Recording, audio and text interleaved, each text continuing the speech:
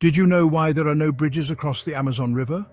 The Amazon is one of the longest rivers in the world, stretching up to 7,100 kilometers and crossing through almost all of South America from west to east.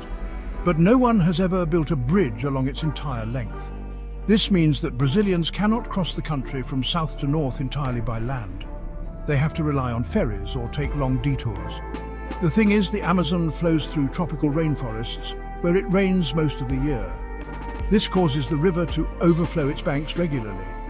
The Amazon's width ranges from 1 to 10 kilometers, but during the rainy season it can expand to 50 kilometers. Moreover, scientists recently discovered an underground river beneath the Amazon, the Hamza River, which makes the soil unstable for building bridges. And finally, the region is lightly populated, with no major highways or transportation hubs along the Amazon. Locals have long adapted to this reality by using water or air transportation. That's why building expensive bridges in this region just does not make sense.